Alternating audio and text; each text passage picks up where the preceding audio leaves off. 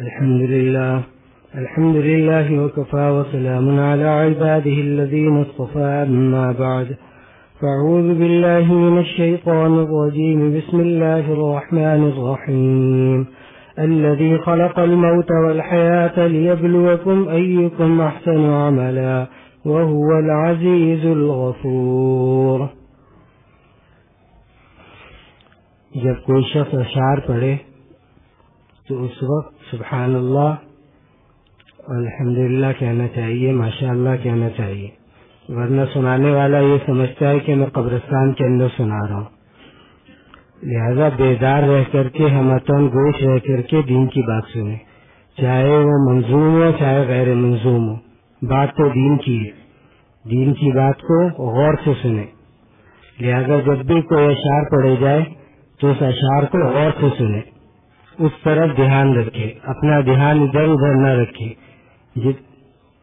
کیونکہ سنانے والا پھر مایوس ہو جاتا ہے کہ پتہ نہیں میں کس قبرستان میں پڑھ کر کے آ گیا اور قبر کے مرغے، وہ سبحان اللہ اور الحمد للہ سے وہ قاصر ہیں کہ وہ یہ سب کہہ سکے اللہ تعالیٰ نے ہمیں زندگی عطا فرمائی۔ تو وہ پڑھتا رہے گا، ہم ماشاء اللہ اور الحمد للہ کہتے رہیں گے، ہمارے اعمال میں اضافہ ہوتا رہے گا۔ تو ایک بات یہ، دوسری بات یہ کہ اب ربیع الاول کا مہینہ شروع ہو گیا۔ اس سے پہلا مہینہ سفر کا تھا۔ سفر کے بعد ربیع الاول۔ بعض لوگ مہینوں کو آواز تیز کرو بھائی۔ بعض لوگ مہینوں کو جو ہے، کہتے ہیں بعض مہینے منحوس ہیں، بعض مہینے بہت بابرکت ہیں۔ تو مہینے برکت مہینے برکت والے تو ہوتے ہیں، لیکن منحوس نہیں ہوتے۔ منحوس انسان کا اعمال ہوتا ہے۔ جیسے اعمال کرے گا، ویسے ایام ہوں گے۔ جیسا عمل کرے گا، ویسا دن ہوگا۔ اگر عمل صحیح کرتا ہے، تو سفر کا مہینہ بھی اس کے لیے باعث برکت ہے۔ اور اگر عمل نہیں کرتا سنت کے اوپر، تو پھر ربیع الاول کا مہینہ بھی اس کے لیے ایسے ہی ہے۔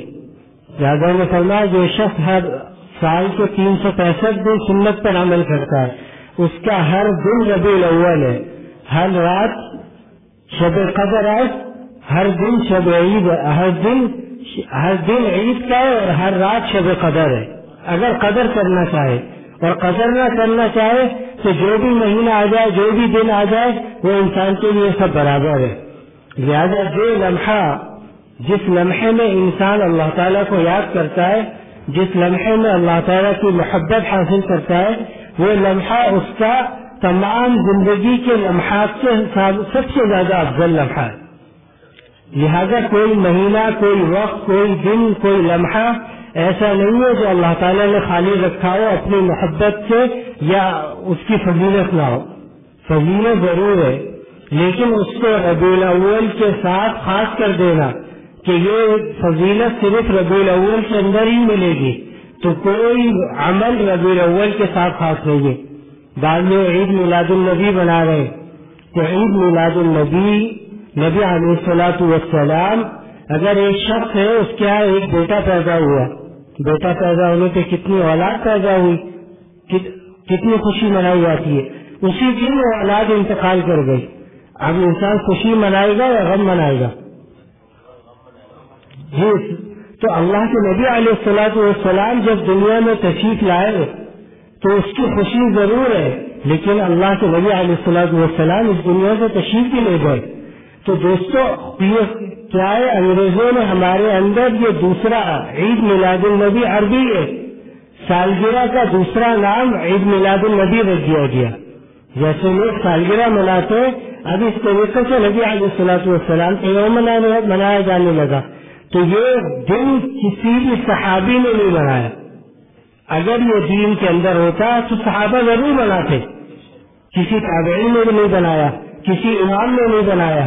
جب کسی امام نے نہیں بنایا، تابعین نے نہیں بنایا، صحابی نے نہیں بنایا، اللہ کے نبی نے خود اس کو منانے کا حکم نہیں دیا، تو پھر اس کو باعث اجر اور ثواب سمجھ کر کے منانا یہ جائز نہیں ہے۔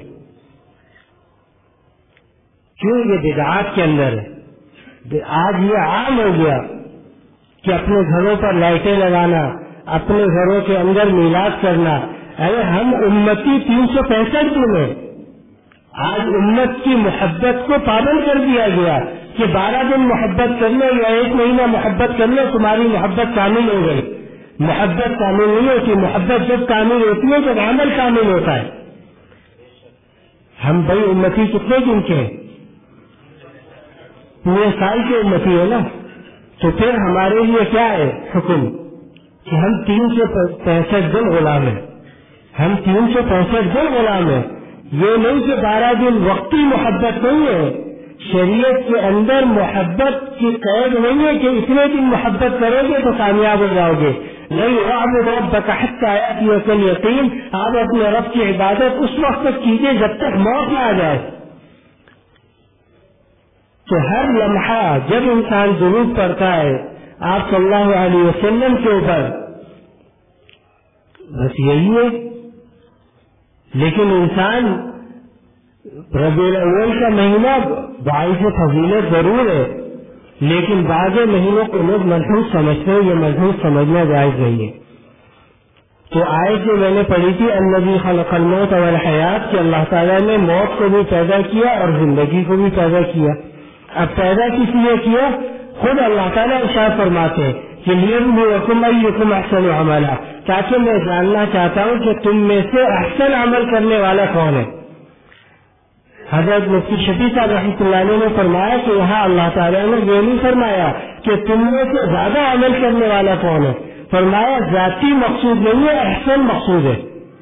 حسن مقصود ہے کہ کتنی خوبصورتی کے ساتھ انسان عمل کرتا ہے۔ کتنے دن کے ساتھ عمل کرتا ہے؟ مقصود یہاں نہیں ہے کہ زیادہ عمل کرتا ہے۔ زیادہ عمل کرنے والے تو بہت لوگ ملیں گے، لیکن سنت اور شریعت کے مطابق عمل کرنے والے آپ کو کم کم لوگ ملیں گے دنیا کے اندر۔ زیادہ فرمائے لیب لوکم ایوکم احسن ہمارا اس کی تین تفصیلیں مفسرین نے بیان فرمائی ہیں۔ نمبر ایک تفصیل لیبلوکم اتم عقل و فہما کہ اللہ تعالیٰ چاہتے ہیں کہ تمہارے عقل اور فہم کا امتحان لے۔ یعنی دونوں چیزیں اللہ نے دنیا کے اندر رکھ دی، آخرت بھی موجود ہے، اسی دنیا کے اندر اور دنیا بھی موجود ہے۔ اللہ تعالیٰ اب عقل کا امتحان لے رہے تم کس طرح بھاگتے ہو؟ انسان ظاہر اگر اپنی عقل سے کام لے، ظاہری عقل سے تو انسان کی عقل کا تقاضا کیا ہے کہ یار تو دنیا میں پیدا ہوا ہے، پیدا ہونے کے بعد اب جتنا کما لے گا، جتنا اپنے بچوں کے لیے جمع کر لے گا، وہی تیرا زیادہ رہا ہے۔ عقل، ظاہری عقل کا تقاضا ہے، لیکن دین کی عقل کا تقاضا کیا ہے؟ دین یہ کہتا ہے کہ تو دنیا کے اندر آیا تیرے جتنے تیرا کھانا، پینا، رہنا، سہنا، یہ سب اللہ کی ذمے تو دنیا کے اندر آیا ہے صرف اس لیے کہ اللہ کی عبادت کرے۔ آج انسان نے عبادت چھوڑ دی، اپنی عقل کے مطابق دین کے اوپر عمل کرنے لگا۔ تو دوستوں جب انسان اپنی عقل کے مطابق محبت کرے گا، تو یہی بدعت ہے۔ ایک انسان محبت کرتا ہے کسی سے اپنی عقل کے مطابق۔ ایک ریچھ دادوں نے قصہ سنایا کہ ایک ریچھ تھا، ایک انسان نے پالا ہوا تھا۔ اس کو بہت تربیت دی، یہاں تک کہ ریچ محبت کرنے لگا، اس کی باتیں سمجھنے لگا۔ تو ایک دن وہ مالک جو تھا وہ سویا ہوا تھا اور ریچھ اس کے برابر میں بیٹھا ہوا تھا تو اس کے یہاں پر ایک مکھی آ کر کے بیٹھ گئی، ناک پر، چہرے پر، تو ریچھ نے اڑا دی ایک دفعہ اڑائی پھر دوبارہ آ کر کے بیٹھ گئی۔ کیونکہ مکھی کا مزاج ہے، جہاں سے اڑایا جائے، وہاں بار بار آتی ہے۔ اسی طرح وسوسے کا حال ہے کہ اگر اس کو جتنا دفاع کرے انسان، جتنا ہٹائے، تو یہ وسوسہ پھر آ جاتا ہے۔ اور اس کا علاج کیا ہے کہ آدمی توجہ توجہ ہی نہ کرے۔ مکھی بیٹھی ہے، بیٹھی نا خود کو تھوڑی دیر بعد خود اڑ جائے گی۔ تو وسوسے کا علاج کیا آج کل لوگ کہتے ہیں وہاں وسوسہ بہت آتا ہے۔ تو وسوسے کا علاج کیا ہے؟ آدمی توجہ۔ حضرت حسین محمد، حضرت ثانی رحمۃ اللہ نے کیا فرمایا کہ وسوسہ تو آئے گا، لیکن وسالس کا علاج کیا ہے؟ وسوسے کا جواب مت دو۔ وسوسے کا جواب جس نے دیا، وہ پھنس گیا۔ وسوسے کا جواب جس نے دیا وہ پھنس گیا۔ جواب در جواب دیتا چلا جائے گا۔ فرمایا، وسوسے کا علاج یہ ہے کہ آج میں توجہ کر دو۔ کہ اس کی طرف توجہ ہی مت کرو۔ تو وہ ریچھ ہٹا رہا تھا مکھی۔ جب تیسری دفعہ آ کر کے مکھی بیٹھی، تو اس کی عقل جتنی تھی، وہ اپنی عقل کے مطابق ایک اتنا بڑا پتھر لے کر کے آیا اور انتظار کرنے لگا، اب مکھی جب بیٹھے۔ اب جیسے ہی مکھی بیٹھی، اس نے وہ پتھر اٹھا کر مکھی پہ دے مارا۔ تو اصل تو مکھی بھی مر گئی اور مالک بھی مر گیا۔ تو راجا نے فرمایا، اس کی جتنی عقل تھی، اس نے اپنی عقل کے مطابق محبت کی۔ تو فرمایا کہ عقل کے مطابق محبت نہیں کرو، شریعت کے مطابق محبت کرو۔ محبت شریعت کے مطابق کرو کہ اللہ کے نبی کا اس وقت کیا حکم ہے۔ یہ نہیں کہ ہمارا دن چاہ رہا ہے حلوہ کھانے کا۔ ہمارا دن چاہ رہا ہے حلوہ کھانے کا، لہٰذا ہم حلوہ کھا لیں۔ بہت سے لوگ کھانے کے بعد کیا کرتے ہیں؟ کہتے ہیں، مولانا، میٹھا بھی سنت ہے۔ تو میٹھا کھا لیجیے۔ میں نے کہا، اللہ کے نبی علیہ السلاۃ والسلام نے جہاد کو فرض فرمایا۔ جہاد کو فرض فرمایا، جو اچھا لگے تو وہ سنت بن گئی، اور جو اچھا نہ لگے تو اس کو کیا کہہ دیتے یہ تو سنت ہے۔ تو سنت تو ہے میٹھا کھانا، لیکن اللہ کے نبی علیہ السلاط والسلام نے میٹھا کھایا تو بھوکے بھی تو رہے۔ بھوکے بھی تو رہے اللہ کے نبی علیہ السلاط والسلام۔ آج انسان بھوکا رہنے کے لیے تیار نہیں ہے، لیکن میٹھی سنت ادا کرنے کے لیے فوراً تیار ہے۔ جن چیزوں اللہ کے نبی علیہ السلام والسلام نے کتنی چیزیں بیان فرمائی، ہم کتنی چیزوں کے اوپر عمل کرتے ہیں۔ بس جہاں نفس کو مزہ ملے، جہاں پیٹ بھرنے کے لیے مل جائے، جہاں لذت مل جائے، انسان اس کے پیچھے بھاگا جا رہا ہے۔ نئی دین اس کا نام نہیں ہے، دین نام ہے شریعت۔ اللہ کے نبی علیہ ایک شخص نے سوال کیا کہ مومن میں اور مسلم میں فرق کیا ہے؟ مومن میں اور مسلم میں فرق کیا ہے؟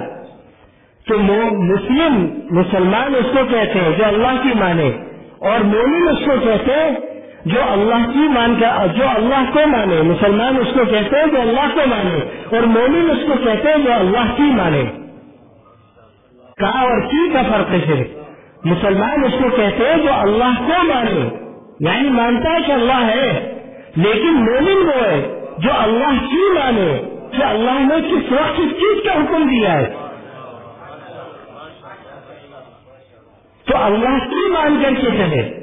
اپنی مرضی اور اپنی طبیعت کے مطابق اللہ سے محبت نہ کرے۔ یہ دیکھیں کہ قرآن و سنت کے اندر نبی علیہ السلاۃ والسلام نے کس موقع کے اوپر کس طریقے سے محبت کا حق ادا کیا؟ ہم اس کے پابند ہیں۔ ہم دنیا کے اصولوں کے پابند نہیں ہیں۔ اگر کوئی شخص آ کر کے کہے کہ نہیں، اس طریقے سے، نہیں، اس طریقے سے، نہیں، نہ اس طریقے سے، نہ اس طریقے سے، زندگی گزرتی ہے شریعت کے طریقے سے۔ یہ طریقے ہماری زندگی کے اندر نہیں ہے ہم اللہ کے نبی علیہ السلاط والسلام کے غلام ہیں۔ ہمارے لیے زندگی اللہ کے نبی علیہ السلاط والسلام کے احکامات کی پابند ہے۔ ہم پابند محبت ہیں۔ زیادہ زیادہ کا شعر پابند محبت کبھی آزاد نہیں ہے۔ پابند محبت کبھی آزاد نہیں ہے۔ اے دل اس قید کی کوئی میعاد نہیں ہے۔ پابند محبت کبھی آزاد نہیں ہے۔ اے دل، اس قید کی کوئی میعاد نہیں ہے۔ انسان یہ سوچے کہ میں کچھ دیر سے اللہ کی عبادت کر لوں اور کچھ دیر میں اپنے کچھ دیر میں دنیا کے اندر مشغول ہو جاؤں، اللہ سے غافل ہو کر۔ یہ جملہ یاد رکھنا، دنیا میں مشغول ہونا، یہ باعث گناہ نہیں ہے، لیکن دنیا کے اندر مشغول ہو جائے، اللہ سے غافل ہو کر کے۔ ایک انسان اپنی روزی کما رہا ہے۔ حضرت ڈاکٹر عبدالم صاحب رحمۃ اللہ نے فرمایا کہ ایک شخص نے ریٹائرمنٹ لے لی۔ بھائی تھوڑا تھوڑا آگے ہو جائے تاکہ پیچھے والے لوگوں کو جگہ مل جائے۔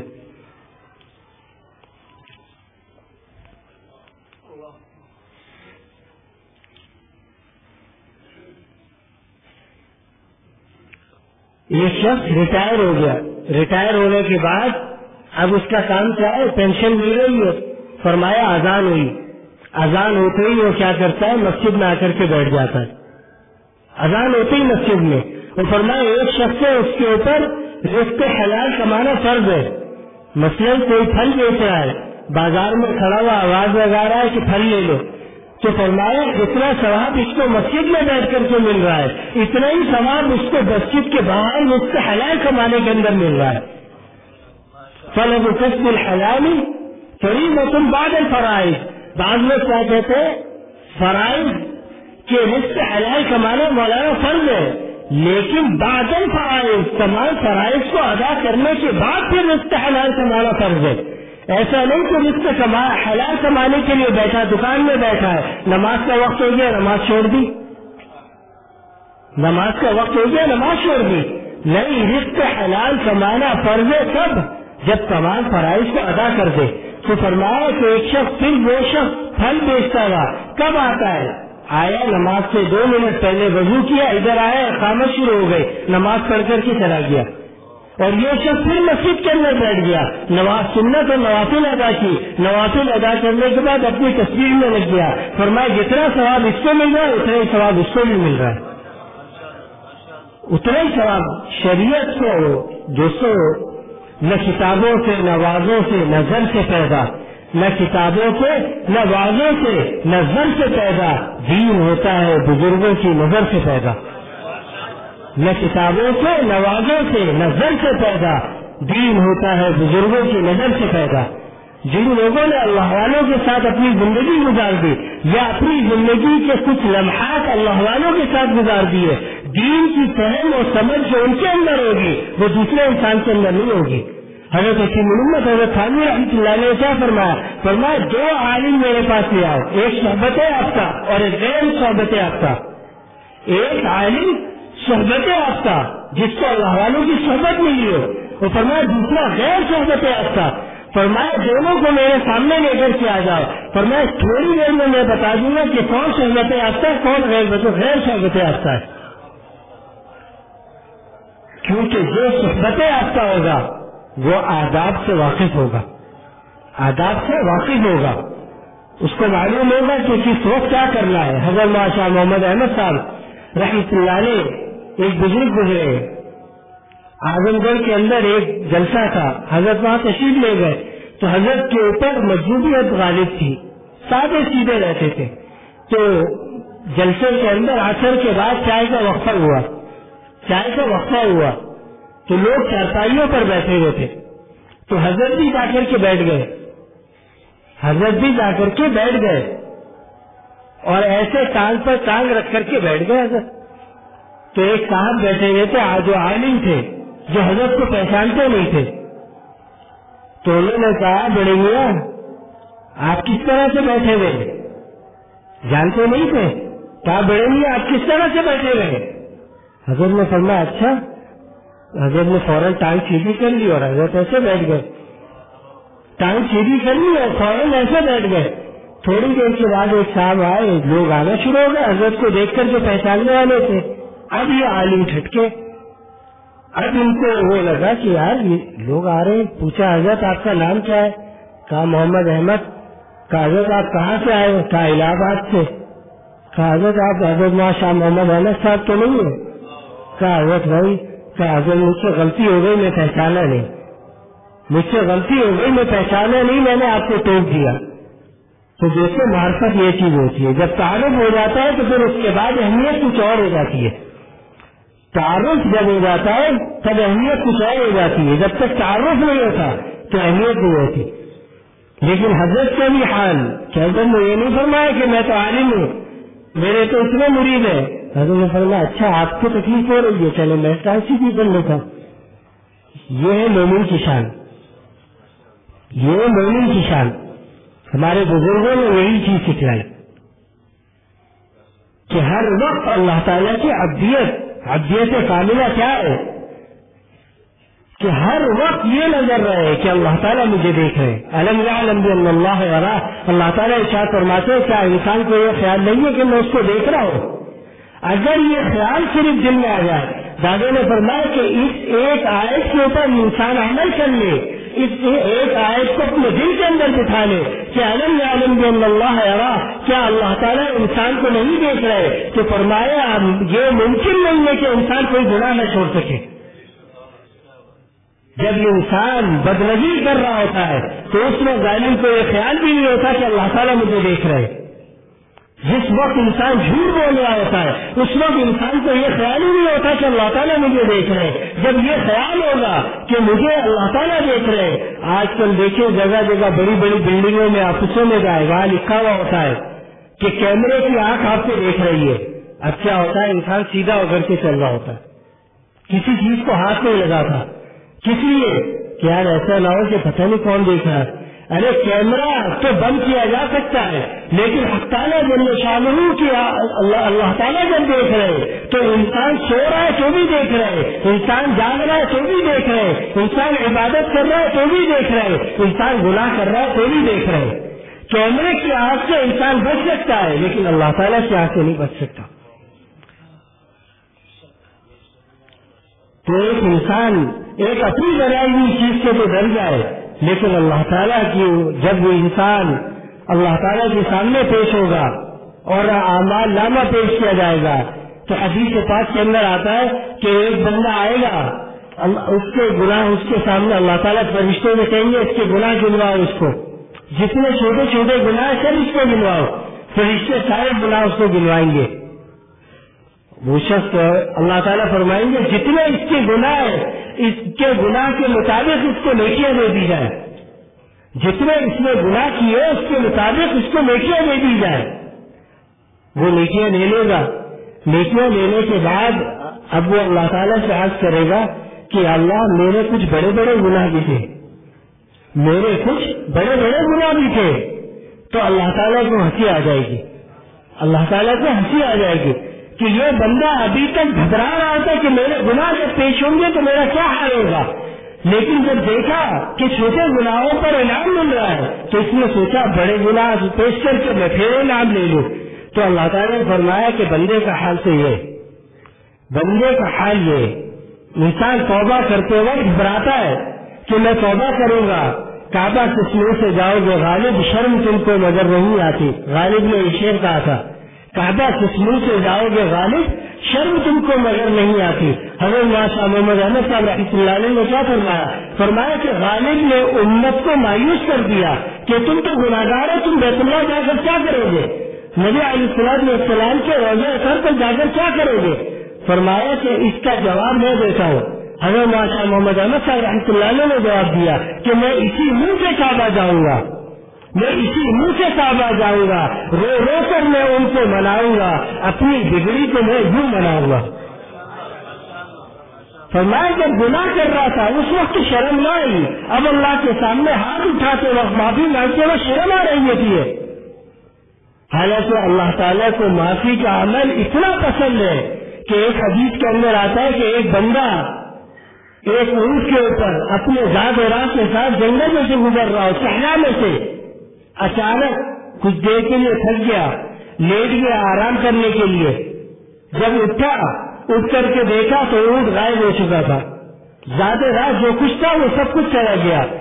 اب آتا ہے حدیث کے اندر کہ یہ بندہ اس صحرا میں ڈھونڈنے لگا اونٹ کو۔ یہاں تک کہ ڈھونڈتے ڈھونڈتے ڈھونڈتے یہ مایوس ہو گیا کہ آپ کو ملے گا ہی نہیں کچھ اور کھانے کے لیے کچھ ہے نہیں۔ اب یہ موت کے انتظار میں لیٹ گیا کہ اب بھوک سے مجھے موت آ جائے گی۔ کیا اچانک اس کی آنکھ کھلی۔ تو دیکھا وہ سامنے کھڑا ہے۔ اب کتنی انسان کو خوشی ہوگی کہ موت کے انتظار میں لیتا ہے، زندگی سامنے آ گئی۔ تو اس کی زبان سے یہ جملہ نکلتا ہے کہ یا اللہ، تو میرا بندہ اور میں تیرا رب۔ تو میرا بندہ اور میں تیرا رب۔ تو اللہ تعالیٰ اللہ جل شاہ فرماتے کہ اللہ جب بندہ توبہ کرتا ہے تو اللہ تعالیٰ کو اس بندے کی خوشی سے زیادہ خوشی ہوتی ہے۔ آج ہم سوچتے ہیں کہ ہم اللہ سے معافی مانگیں گے، پتہ نہیں اللہ تعالیٰ ہمیں معاف کریں گے نہیں کریں گے۔ اگر دادا نے فرمایا کہ اگر اللہ کو معاف نہ کرنا ہوتا تو اللہ تعالیٰ اس کا کرو رب اپنے رب سے استفار طلب کرو۔ اللہ تعالیٰ اس کا حکم ہی نہ دیکھے۔ فرمایا، باپ کا یہ حکم دینا کہ بیٹا، تم روزانہ دودھ پیا کرو۔ اس کا مطلب یہ ہے کہ باپ دودھ کا انتظام کر کے دے گا۔ تم صرف پی لیا کر۔ اللہ کا یہ حکم دینا کہ اے میرے بندے، تو اپنے رب سے معافی مانگ۔ یعنی معافی تو اللہ تعالیٰ عطا فرمائیں گے، صرف ماننا ہمارا کام ہے۔ فرمایا کہ اگر کوئی بات ایسے کہہ دے کہ بیٹا سردی ہے تو روزانہ دو انڈے اور ایک پاؤ دودھ پی لیا کر، لیکن انڈے اور دودھ کا انتظام نہ کرے۔ یہ باپ کی محبت سے یا نہیں؟ بولو بھائی یا نہیں؟ بھائی تو اللہ تعالیٰ کی محبت سے یہ کیسے یہ ہوگا؟ کہ اللہ تعالیٰ کہے کہ استغفار کرو، تم مجھ سے معافی مانگو، میں تمہیں معاف کر دوں گا۔ اور پھر معاف نہ کرے۔ اللہ کی رحمت کے دروازے اللہ اور صرف معاف نہیں فرماتے۔ اللہ تعالیٰ سے ہم تو صرف کیا کرتے؟ ہیں اگر کسی نے ہمارے ہمیں نقصان پہنچا دیا، تو ہم کیا کہتے؟ ہیں جا معاف کر دیا، لیکن نظر کے سامنے مت آنا۔ دادا نے اشار فرمایا کہ یہاں تک کہ جناب رسول اللہ صلی اللہ علیہ وسلم کے سامنے حضرت رشی آئے۔ حضرت حمزہ کو شہید کیا تھا۔ اللہ کے نبی علیہ السلام السلام نے کیا فرمایا کہ اے وحشی تو کلمہ لیا کلمہ پڑھ لے، تجھے جنت کی بشارت دے دیتا ہوں۔ حضرت رشی نے کلمہ پڑھا۔ کلمہ پڑھنے کے بعد اللہ کے نبی علیہ السلام السلام نے فرمایا کہ اے وحشی تو میرے سامنے مت آیا کر، کیونکہ تجھے دیکھ کر مجھے اپنے سچا کا غم یاد آیا تھا۔ لیکن فرمایا، دیکھو اللہ تعالیٰ کی رحمت کتنی وسیع ہے اور کتنی بڑی ہے کہ اللہ نے آج تک کوئی چالیس سال کا یہاں بیٹھا ہے، کوئی پچاس سال کا بیٹھا ہے، جتنی دفعہ اللہ سے معافی مانگی، اللہ نے یہ نہیں فرمایا کہ جا اس دفعہ معاف کر رہا ہوں، اگر آئندہ گنا کیا تو میرے دربار میں مت آنا۔ معافی مانگتے رہو، معافی مانگتے رہو، معافی مانگتے رہو۔ اپنے رب سے معافی مانگتے رہو۔ کیوں؟ حضرت شاہ عبد الغنی صاحب پھلپوری رحمۃ اللہ علیہ، دادا ایک دفعہ کپڑے دھو رہے تھے، حضرت شاہ عبد الغنی صاحب پھلپوری رحمۃ اللہ علیہ کے۔ تو شاہ صاحب نے دادا سے فرمایا کہ حکیم اختر ادھر آؤ۔ اللہ تعالیٰ نے مجھے ایک علم عظیم عطا فرمایا ہے۔ تو دادا فوراً آ گئے۔ فرمایا، حضرت میں کیا علم عظیم ہے؟ فرمایا، اللہ تعالیٰ فرماتے وہ غفور الوجود کہ اللہ تعالیٰ مقصد بھی فرمائیں گے، لیکن آگے فرمایا وجود کہ اللہ تعالیٰ محبت کرنے والے بھی ہیں۔ تو فرمایا کہ اللہ تعالیٰ نے علم عظیم یہ عطا فرمایا کہ اللہ تعالیٰ جو تمہیں معاف کرتے ہیں تو حضرت ہندوستان کی زبان میں فرمایا تھا کہ اللہ تعالیٰ معاف کرتے مارے میا سے یعنی محبت کی وجہ سے معاف کر دیتے۔ جیسے بچہ جتنی دفعہ نافرمانی کر لے ماں باپ اس کو نکال لیتے ہیں، لیکن پھر تھوڑی دیر کے بعد اگر کتنی لاپرمانی کر لے، ماں باپ اس کو گھر سے باہر نکال دے، دروازہ بند کر دے، لیکن ماں کا دل پھر بھی تڑپتا رہتا ہے کہ میری اولاد باہر کھڑی ہے کہیں اس کو نقصان نہ پہنچ جائے تو دوستوں ماں کو محبت کرنا اللہ تعالیٰ نے سکھلایا ہے۔ مادر رام مختل اللہ تعالیٰ کی طرف سے حضرت جلال الدین رومی رحمۃ اللہ علیہ فرماتے ہیں کہ مادر را مہر من آموختم، کیوں وہ شمع سے من افروختم؟ اے لوگوں ماں کو محبت کرنا میں نے سکھلایا ہے۔ کیوں وہ شمع سے من افروختم؟ جس دن میری محبت کا سورج شروع ہوگا اس دن یہ کیسا حال ہوتا؟ ہے انسان جس کو سوچے گا، یہ تو پکا جہن نہیں ہے۔ وہ جنت کے اندر جا رہا ہوگا۔ حضرت گلگئی رحمۃ اللہ علیہ نے ایک ہندو بلیوں کو دیکھا خواب میں کہ جنت میں ٹہل رہا ہے۔ پوچھا، لالا جی آپ جنت کے اندر؟ کہا ہاں مولانا، مرتے وقت منہ سے ہم کہیں نکل گئی تھی۔ یعنی جو بات نہیں کہنی چاہیے تھی یعنی کلمہ طیبہ نہیں پڑا تھا پوری زندگی۔ لیکن مرتے وقت اللہ تعالیٰ نے کلمہ طیبہ عطا فرمایا۔ آج اس کی برکت سے جنت کے اندر آ گیا۔ ایک صحابی جناب رسول اللہ صلی اللہ علیہ جنگ ہو رہی ہے۔ ایک شخص نے کفار کی طرف سے لڑ رہا تھا۔ اس نے نبی علیہ السلام والسلام کے چہرے کی طرف نظر پڑی۔ آپ صلی اللہ علیہ وسلم کے چہرے کی طرف نظر پڑی۔ اس نے دل میں سوچا، یہ چہرہ کسی جھوٹے نبی کا نہیں ہو سکتا۔ کسی جھوٹے کا نہیں ہو سکتا۔ اسی وقت آیا اور فرمایا کہ یا رسول اللہ صلی اللہ علیہ وسلم، مجھے کلمہ پڑھا دیجیے میں ایمان لانا چاہتا ہوں۔ میں ایمان لانا چاہتا ہوں۔ اللہ کے نبی علیہ السلط والسلام نے کلمہ پڑھایا۔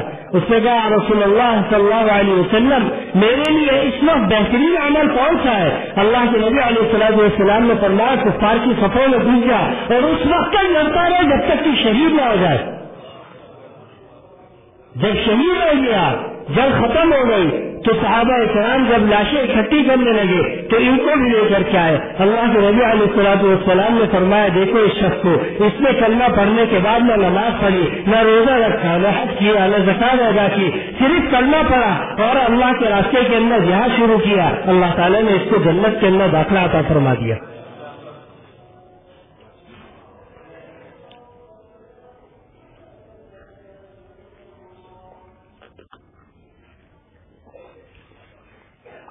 تو دوستوں عقل تاب شریعت ہونی چاہیے۔ عقل تاب شریعت ہونی چاہیے۔ نہ کہ شریعت تاب عقل ہونی چاہیے۔ اور حضرت ماشاء الحق صاحب رحمۃ اللہ علیہ نے اس کی عجیب مثال دی۔ فرمایا، دیکھو بھائی، اگر عقل کو، شریعت کو ہم تابع کرتے ہیں عقل کے، تو فرمایا کہ دیکھو اثر کے بعد اثر اور مغرب کے درمیان جو وقفہ ہے، اس کے درمیان میں جو وقت آتا ہے، اس کے اندر کوئی بھی نماز نہیں پڑھی جا سکتی۔ پڑھی جا سکتی نہیں پڑھی جا سکتی۔ فرمایا، اس وقت کے اندر ایک شخص کمرے میں جاتا ہے، گھر کے۔ سب سے کونے والے کمرے کے اندر جا کر کے کنڈی لگاتا ہے اور کنڈی لگانے کے بعد نوافی پڑھنا شروع کر دیتا ہے۔ فرمایا، اب کوئی انسان اگر عقل کو سوچے تو عقل کیا گواہی دے گی؟ کہ یار اتنا اللہ کا مخلص بندہ کہ کمرہ بند کر کے سوائے اللہ کو دکھانے کے لیے کمرہ بند کر کے یہ نماز پڑھ رہا ہے۔ لیکن شریعت کیا کہتی ہے؟ یہ نماز قبول نہیں ہے۔ تو فرمایا، جس طریقے سے یہاں شریعت عقل تابع شریعت ہے، اسی طرح ہر حکم اور ہر عمل کے اندر عقل تابع شریعت ہونی چاہیے۔ فجر کی بات کوئی شخص فوراً جو طلوع آفتاب سے پہلے دو رکعت اخلاق کی نیت سے پڑھے۔ تو لوگ کیا کہتے ہیں؟ تیری نماز قبول نہیں ہوئی۔ کس لیے؟ اس لیے کہ شریعت کے مطابق نہیں ہے۔ تو اللہ تعالیٰ نے بھی یہی فرمایا لیے بھی حکمائی حکم اصل وہ عقل و فہما۔ کہ اللہ تعالیٰ جاننا چاہتے ہیں کہ تمہاری عقل و فہم کس لیے ہے؟ تم اللہ کی طرف کس طرح آج ہم نے اپنی معیار کیا بنا لیا کہ یار جس کے پاس زیادہ عقل ہے، وہ زیادہ کامیاب ہے۔ تو اس کا مطلب یہ ہے کہ پاگلوں کو تو مر جانا چاہیے تھا۔ بھائی اگر عقل سے کامیابی ملتی، عقل سے کامیابی ملتی تو پاگلوں کو تو مر جانا چاہیے تھا۔ لیکن آپ دیکھیں کہ پاگل اس کو دس آدمی پکڑتے، پھر بھی وہ چھڑا لیتا ہے۔ دس کے دس کو دھکا دے دیتا ہے۔ کہاں سے اس کے اندر قوت آئی؟ عقل تو اس کے اندر ہے نہیں۔ کھانے کا اس کو ہوش نہیں ہے، جس کا رزق اللہ تعالیٰ لکھتے تھے حدیث پاک کے اندر آتا ہے کہ رزق انسان کو اس طرح ڈھونڈتا ہے جس طرح اس کی موت اس کو ڈھونڈتی ہے۔ جس طرح موت اس کو ڈھونڈتی ہے۔ پاگل ہے، اس کو کیا ہو سے لوگ پکڑ کر کے کھانا کھلاتے ہیں۔ جو پاگل ہے یار، اس کو پکڑ کے کھانا کھلا دو پتہ نہیں کتنے وقت کا بھوکا ہوگا۔ تو اللہ تعالیٰ کس طریقے میں کھلا رہے ہیں۔ نظام کائنات کو سوچے انسان۔ نظام کائنات سوچے کہ اللہ تعالیٰ پاگل کو پکڑوا کر کے کھلا رہے ہیں۔ پھر اس کو اتنی قوت دی، اتنی قوت دی کہ دس انسان پکڑتے وہ چھڑا لیتا ہے۔ تو آج ہم نے معیار کس کو بنا لیا؟ عقل کو۔ دوستوں معیار عقل نہیں ہے، معیار شریعت ہے۔ معیار شریعت ہے۔ ابھی حال ہی کے اندر ایک نعرہ لگا تھا۔ تو ریاست بچاؤ، سیاست کیا تھا نعرہ؟ سیاست میں ہی ریاست بچاؤ۔ اللہ کے بندے پہلے ایمان کو بچا۔ پہلے ایمان تو بچا۔ اگر ایمان بچ گیا تو ریاست بھی بچ گئی اور سیاست بھی بچ گئی اور یہ سیاست تو ہے ہی آج اس ملک کو ہمارے، اس ملک کو جس مقام تک پہنچایا گیا ہے، یہ ملک اس یہ اسی چیز کا تحفہ ہے، یہ اسی سیاست کا تحفہ ہے۔ اگر اللہ کی زمین پر اللہ کا نظام ہوتا، تو کیا کہنا تھا اگر کسی پہلوان کو، کسی پتلے دبلے انسان کو اگر وہ بیمار ہو گیا اور آغا خان اسپتال میں پہنچ جائے، اور اس کو کیا کہے؟ کہ بھائی تمہیں جو ہے فلاں شخص کا خون لگے گا۔ وہ کہتا ہے، نہیں، مجھے تو کسی پہلوان کا خون چاہیے۔ اب ڈاکٹر اس کو کیا سمجھاتا ہے؟ یہ خون تیرے خون سے میچ نہیں ہوتا۔ وہ کہتا ہے، نہیں، مجھے تو پہلوان کے خون چڑھے گا۔ تو کیا ہوگا؟ خون چڑھے گا، مرے گا یا نہیں مرے گا؟ تو دوستوں ہمارے خون کے اندر اللہ نے اسلام رکھا ہے۔ ہمارے خون میں اسلام ہے۔ دنیا کا کوئی بھی خون لا کر کے لگایا جائے، مسلمان کو موافق نہیں آئے گا۔ خواہ وہ کسی بھی طبقے کے خواہ وہ کوئی بھی نظام لا کر کے لگا دیا جائے۔ اب اس وقت کفریہ نظام کو اسلامی ریپر کے اندر لپیٹ کر مسلمانوں کے گلے میں ڈالنے کی کوشش کی گئی۔ لیکن کیا ہوا؟ کیا بدلا؟ کچھ بھی نہیں بدلا۔ جب تک اسلامی نظام نہیں آئے گا مسلمانوں کے اندر بھی امن نہیں ہوگا اور کفار کے اندر بھی امن نہیں ہوگا۔ حضرت ابو بکر صدیق رضی اللہ تعالیٰ عنہ کا واقعہ میں نے سنایا کہ جب خلافت ملی تو پوچھا صحابہ نے کہ آپ کی تنخواہ کیا مقرر کی جائے؟ صحابہ نے پوچھا آپ کی تنخواہ کیا مقرر کی جائے؟ تو حضرت ابو بکر صدیق رضی اللہ تعالیٰ عنہ نے کیا فرمایا؟ فرمایا جو ایک مزدور کی تنخواہ ہے، وہی میری تنخواہ ہے۔ جو ایک مزدور کی تنخواہ ہے، وہی میری تنخواہ ہے۔ فرمایا، آپ کا گزارا ہو جائے گا اس تنخواہ کے اندر۔ فرمایا، اگر میرا گزارا نہیں ہوگا تو مزدور کی تنخواہ بڑھا دوں گا۔ میرا گزارا نہیں ہوگا تو مزدور کی تنخواہ بڑھا دوں گا۔ تو دوستوں دنیا کا کوئی بھی خون ہو مسلمان تو مسلمان ہے دنیا کا کوئی بھی خون اس کو لگایا جائے، اس وقت تک اس کو رات نہیں آئے گا، جب تک جو خون اس سے میچ کر رہا ہے، وہ وہ میچ شدہ خون اس کو نہ لگایا جائے۔ اور وہ خون اسلامی نظام ہے۔ جب تک اسلامی نظام اس ملک کے اندر نہیں آئے گا، عمل کبھی قائم نہیں ہو سکتا۔ دنیا جتنی بھی کوشش کر لے، عمل قائم نہیں ہوگا۔ تو خیر، یہ تو ضمنی بات تھی۔ بات چل رہی تھی کہ اللہ تعالیٰ ہمیں آزمانا چاہتے ہیں کہ تمہاری عقل اور فہم کتنی ہے۔ اور دوسری تشریح جو فرمائی، دوسری شرح فرمایا حکم اور محارم اللہ تعالیٰ شانو۔ اللہ تعالیٰ یہ دیکھنا چاہتے ہیں کہ تم میں سے اللہ کی حرام کردہ چیزوں سے زیادہ کون بچتا ہے؟ آج حرام کردہ چیزوں کو لوگ حلال کرنے کی کوشش کر رہے ہیں۔ کہتے اگر سود نہ ہو تو ہماری معیشت کس طرح سے چلے گی؟ ہمارا ہماری تجارت کس طرح سے چلے گی؟ ہمارا کاروبار کس طریقے سے چلے گا؟ ہمارا کاروبار بہتر طریقے سے چلے گا اگر ہم اللہ تعالیٰ کے احکامات کی پابندی کریں۔ اللہ کی حرام کرتا چیزوں کے اندر انسان سکون تلاش کر رہا ہے۔ آج امت مسلمہ نہیں، پوری دنیا آج سکون کی تلاش کے اندر ہے کہ کسی طریقے سے سکون حاصل ہو جائے۔ اور دوستوں سکون صرف اللہ تعالیٰ نے اپنی شریعت اور سنت سے اللہ کے نبی کی سنت کے اندر رکھا ہے۔ اس کے علاوہ نہیں ہے دنیا کے اندر۔ اگر سکون حاصل کرنا ہے خواہ وہ انسان مسلمان ہو خواہ وہ کافر ہو خواہ وہ یہودی ہو خواہ وہ عیسائی ہو خواہ وہ ہندو ہو، کسی بھی مذہب سے تعلق رکھتا ہے۔ اگر وہ چاہتا ہے کہ امن اور سکون مل جائے تو اللہ کے احکامات کی چھتری جو نیچے آ جائے۔ اسی لیے قرآن کریم کے اندر کیا فرمایا؟ کل یا اہل کتاب تعالوا الى كلمه بیننا و بینکم کہ محمد صلی اللہ علیہ وسلم آپ یہود و نصارہ سے کیا کہیے آ جاؤ ایسے دین کی طرف جو ہمارے اور تمہارے درمیان برابر ہے۔ اللہ نعبد الا اللہ ولا نشرک به شیئا، کہ ہم اللہ کی عبادت کریں، ولا نشرک به شیئا، اور اس کے ساتھ کسی کو بھی شریک نہ کریں۔ اللہ کے نبی علیہ السلاط والسلام آج دنیا کا کوئی فرقہ کسی کو برحق نہیں سمجھتا۔ صرف دنیا کا واحد اسلام ایسا مذہب ہے جو توریت اگر کوئی شخص اس کا انکار کرے تو اسلام کہتا ہے کہ کیا ہے؟ خارج اسلام ہے۔ اگر ظہور کا انکار کرے، تو اسلام کیا کہتا ہے؟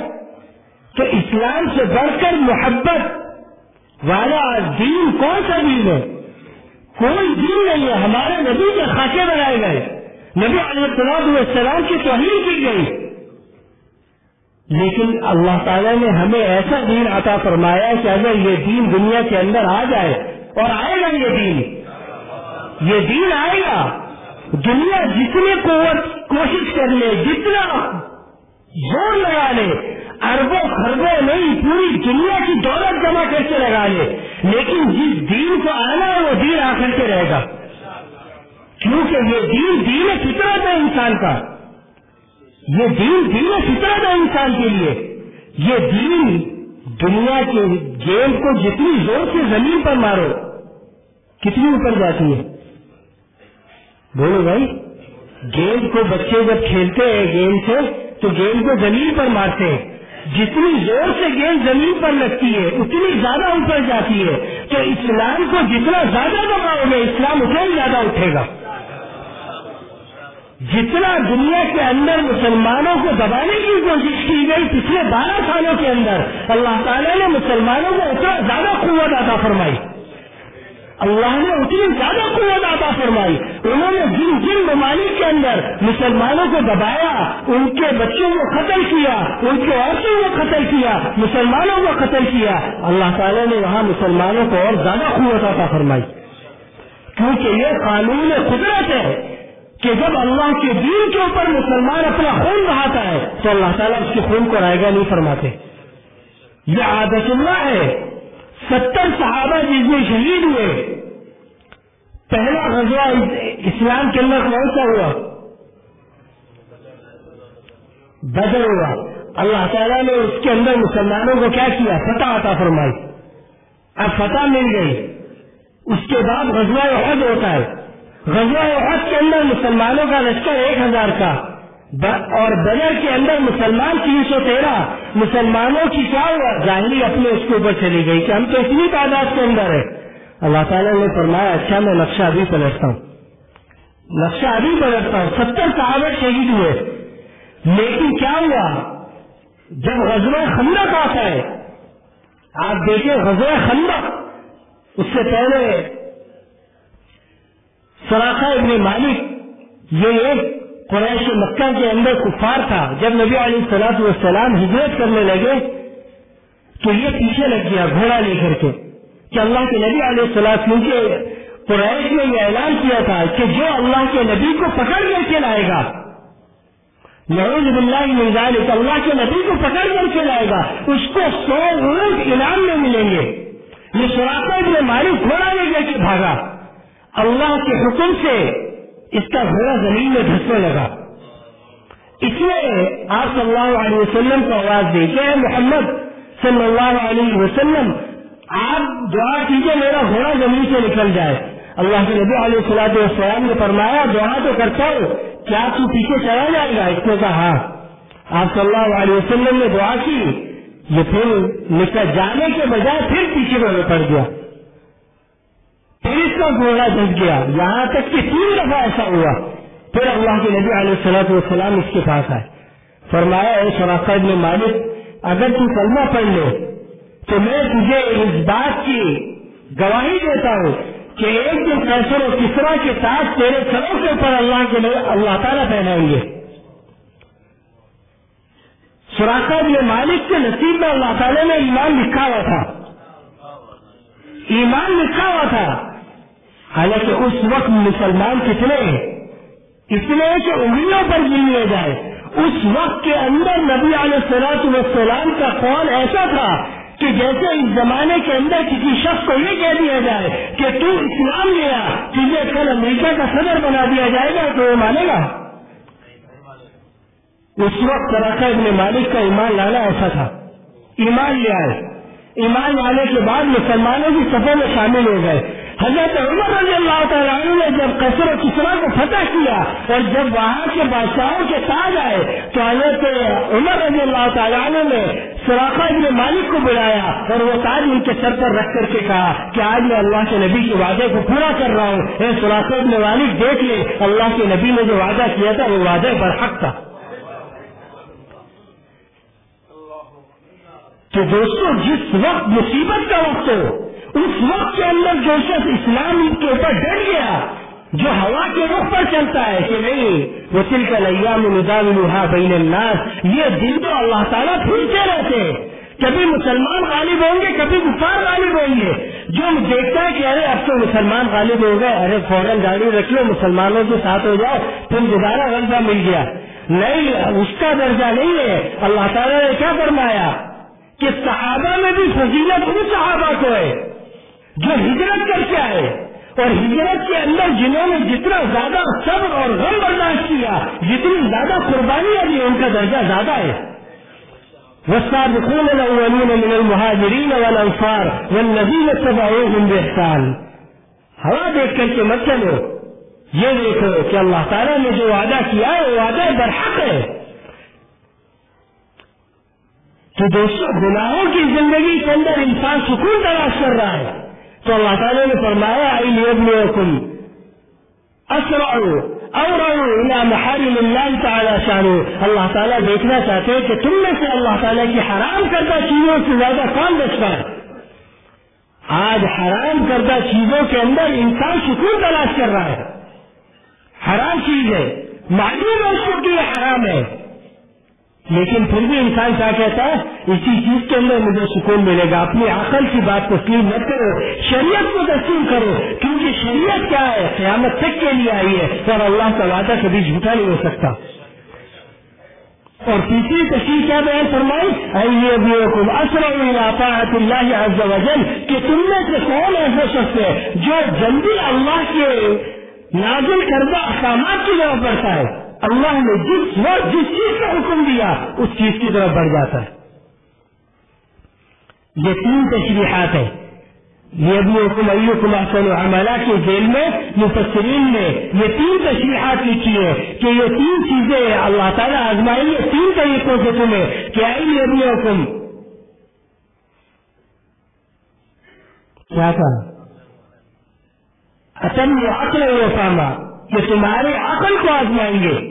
کہ تمہاری عقل کامل کس کی ہے؟ نمبر دو، آئیے ابن اور محارم اللہ تعالیٰ شانو۔ اللہ تعالیٰ اس چیز میں آزمائیں گے کہ تم اللہ کی حرام کردہ چیزوں سے کتنا بچتے ہو۔ آئیے ابن حکم اثر اللہ عز و جل۔ اور تیسری چیز جس میں اللہ تعالیٰ تمہیں آزمائیں گے، وہ کیا ہوگی؟ کہ تم میں سے اللہ کے نزدیک اللہ کی نازل کردہ شریعت کے اوپر سب سے پہلے کون چلتا ہے؟ ان تین چیزوں کے اوپر اللہ تعالیٰ آزمائیں گے۔ آگے آگے کیا فرمایا؟ وہ غفور الرحیم۔ کہ اللہ تعالیٰ معاف کرتا ہے۔ لیکن فرمایا، معافی کس کی وجہ سے؟ یہ رحمت کی وجہ سے معافی ہے۔ جو اللہ تعالیٰ کو اپنے بندے سے محبت ہے، اس محبت کی وجہ سے اللہ تعالیٰ معاف کر دیتے ہیں۔ تو دوستوں یہ آیت کی تفسیر چار ہفتے سے چل رہی تھی۔ چار ہفتے سے چل رہی تھی، آج اللہ تعالیٰ نے مکمل فرمائی۔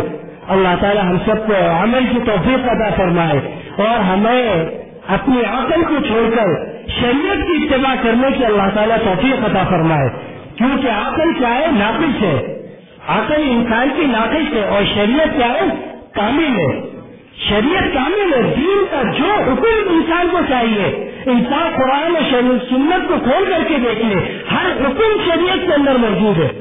خواہ وہ نکاح ہو خواہ وہ انسان کا مرنا ہو خواہ وہ جینا ہو خواہ کاروبار ہو تجارت ہو زراعت ہو معیشت ہو لین دین ہو اٹھنا ہو بیٹھنا ہو سونا ہو کھانا ہو پینا ہو جو چیز انسان ڈھونڈے گا، وہ شریعت کے اندر مل جائے گی اس کو۔ تو اللہ تعالیٰ ہمیں شریعت پر عمل کرنے کی توفیق عطا فرمائے۔